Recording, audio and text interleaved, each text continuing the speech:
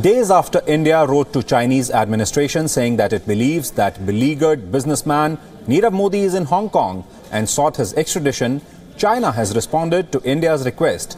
China said that if India has made relevant requests to Hong Kong, the Hong Kong administration will follow the relevant laws regarding the issue. It has assured that even the central government will extend the necessary cooperation to India.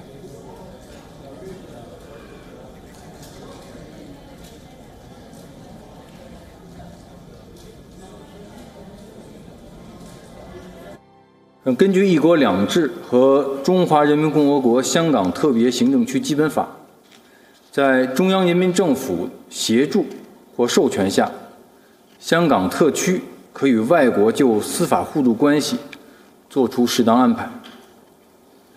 如果印方向香港特区提出有关的请求，我们相信香港特区会根据基本法、特区相关的法律。以及与印方签订的有关司法协助协定加以处理。